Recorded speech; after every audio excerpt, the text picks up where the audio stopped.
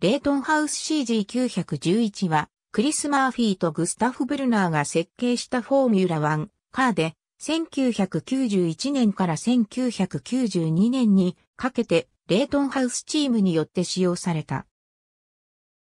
前年型レートンハウス CG901 の後継マシンとして開発され、エンジンもジャットからイルモアに変更。ドライバーは前年と同様、イバン・カペリとマウリシオ・グジェルミン、終盤2戦のみカペリに代わって、カール・ベンドリンガーがドライブ。ジャットエンジンを比べると信頼性不足で、リタイアが多く、カペリが第10戦ハンガリーグランプリで6位入賞のみと低迷し、9月にチーム代表の赤木明が富士銀行不正融資事件で逮捕され、シーズン終了後に手を引き、来シーズンからコンストラクター名をマーチに変更せざるを得なくなってしまった。前述の赤城が起こした事件で、チーム名をレートンハウスからマーチに戻り、マシンは前年の改良型を使用。また、マシン名もマーチ CG911 バイトと変更された。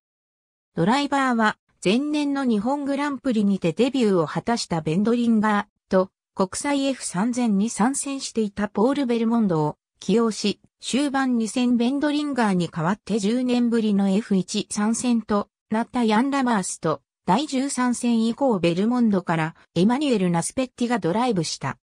昨年度よりもエンジンの信頼性が若干アップするも、トラブルは完全には解消されず、ベンドリンガーが第7戦カナダグランプリで4位入賞するも、それ以外は低迷し、ベルモンドが6回予選落ちを喫したりと、散々な結果に終わった。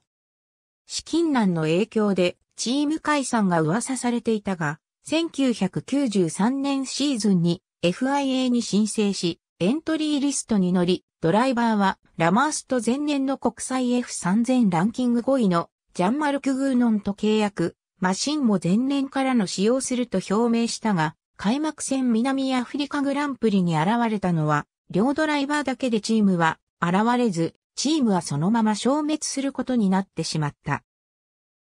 ありがとうございます。